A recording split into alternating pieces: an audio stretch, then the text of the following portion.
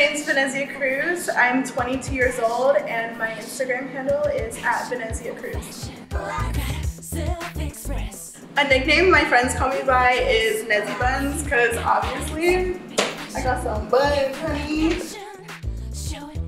I express myself by just wearing whatever the hell I want. Like, whatever I'm feeling that day, that's what I'm gonna put on and that's what I'm gonna rock. I'm gonna be out there on the beach wearing whatever I wanna wear. I definitely identify with Yasmin. I always wanted Bratz dolls as a kid. I wanted a doll that looked like me with big lips and big hips. I have a passion for